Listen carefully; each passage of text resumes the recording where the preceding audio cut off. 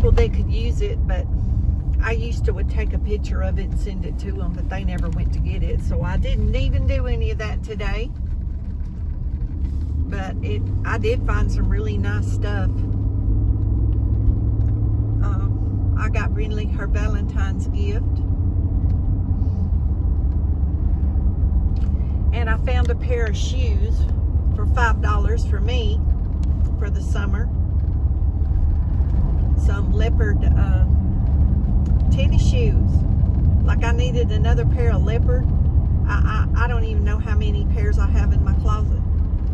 Not as many as I used to because I did get rid of some of them when I moved. I loaded my SUV up twice and took it to Goodwill. And my niece loaded her car up at least twice and then another niece came and got some stuff and I give a whole truck load of things to one of my neighbors that uh, does trades day stuff. They go on the weekend and sell stuff. And uh, I still have a storage building with a lot of stuff in it. And I'm just waiting for a good weekend because every weekend we have bad weather. Except the other weekend when we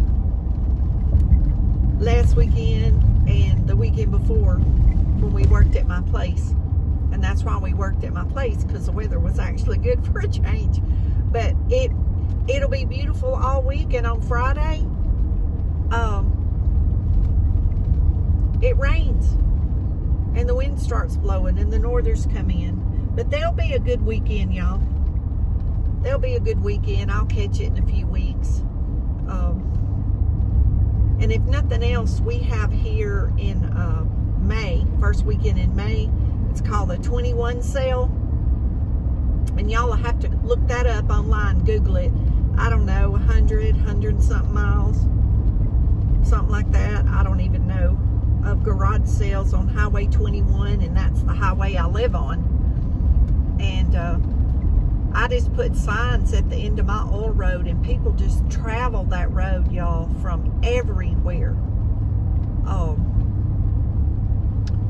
from out of the Houston area, Conroe area, looking for garage sales. It, it's amazing. Last time I did that, the closest town to me, I asked everybody, where are you from? And the closest town to me was Wales which is not that far away.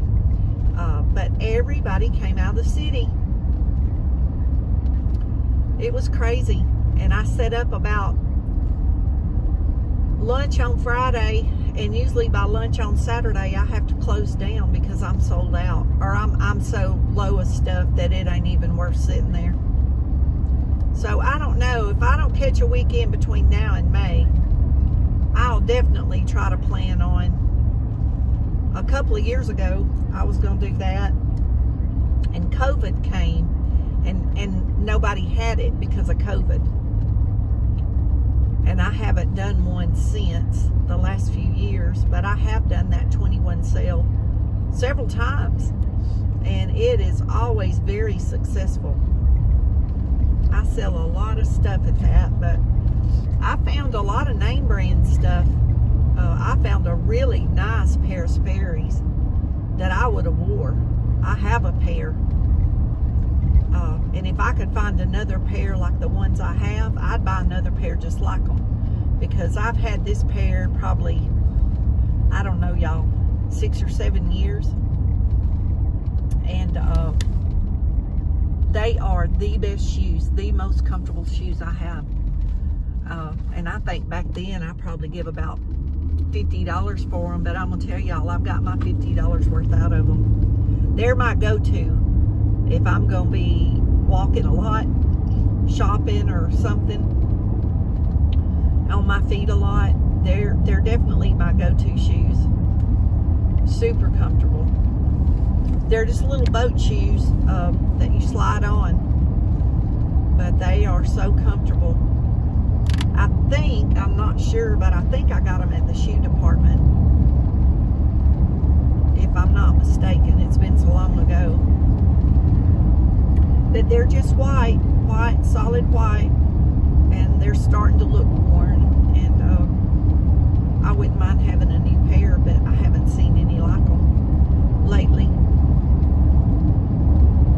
But we're just taking the back road home from doing my errands this afternoon. And I checked my camera and Brinley, bless her heart, she's still sitting in the chair waiting for me. That sleep. She just waits for her mama to come home. But it is a beautiful day. I'm gonna, uh, I got uh, some potting soil and I'm gonna go home and finish my raised vegetable bed so I can plant my potatoes soon. I set the, the bed up in the fall of last year and started putting the soil in it. And then the weather started getting bad and uh, there wasn't any hurry in finishing it because I knew it's fixing to be winter. So um, I had a gift card to Lowe's and I went and got soil and I went to the feed store and I got chicken feed to keep my girls happy since they're laying eggs again. And I have a man, y'all, that's actually supposed to be coming today. He didn't tell me what time. I guess if he came to the house and I wasn't there, he'll call me. He may not be coming till later, but uh, I think he retired. He used to come after work. But uh, he called me yesterday and I told him I would hold his eggs through today. And if he didn't come, I was going to sell them to somebody else because, y'all, I have a waiting list. If anybody wants eggs, if they want to get on the waiting list, if you're local, I'll save them for you. And everybody on my list understands that they wait their turn. Um, when the chickens start laying more, you know, I'll be able to get them out to everybody quicker. But I try to keep everybody happy and, and coming back, I don't just sell them to one person. I, I share because I have a couple of people that you just would want me to just save them all for them. And I'm not going to do that. Um, I'm going to divide them up. So if anybody wants to get on my list that's local, I'll put your name on the list and uh, I just go down the list, y'all lady, I would, uh, I'm going to slow down for you because I can't get over. There's a car in the left lane, y'all. I would get over and uh, be courteous and let that let that lady out, but I slowed down so she could get out. I try to drive with manners, y'all. I know y'all get sick of me saying y'all, but uh, that's just how it is, y'all. That's just how I talk.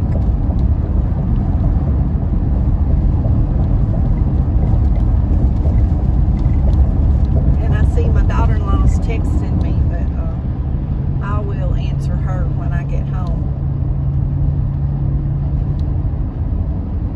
There ain't no telling what she's going to tell me. I did ask her some questions. She may be answering my uh, she may be answering my questions. I text her. I was asking her about uh, some uh, products. And she stays up on all that stuff. Y'all, I just, since I, I don't work with a group of girls and, uh, you know, you would hear their clients talking about something. So you were, I was constantly learning about something new. But y'all, that, that just doesn't interest me anymore like, you know, shopping and what's the new fad and the new trend. And it's just not my thing. I don't know that it ever really was, honestly. Um,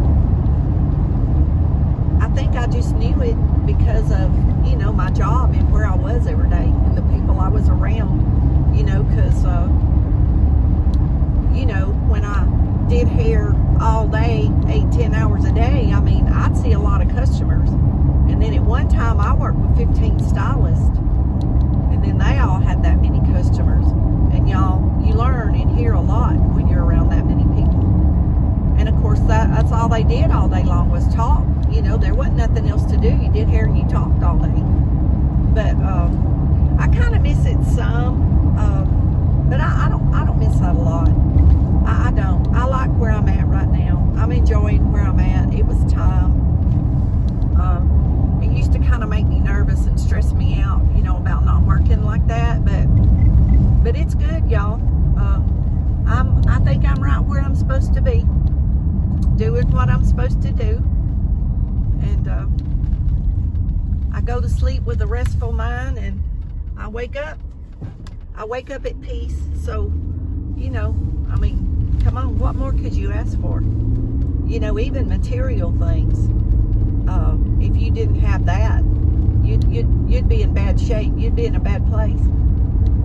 And, uh, you know, honestly, the, the poorest I've ever been in my life, the less I've ever had, and the worst house I've ever lived in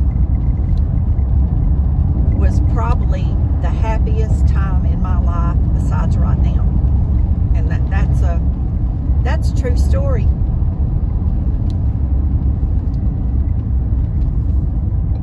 But we're getting close to so I'm going to end the video because I got to unload all this feed and 50 pound bags of feed, y'all. I can still take them out to the shed. I'm going to fill it tomorrow, but you know, that's okay. I can still do it. I think it's 65. I think that's saying a lot to lift a 50 pound bag of feed and be able to tote it to the barn.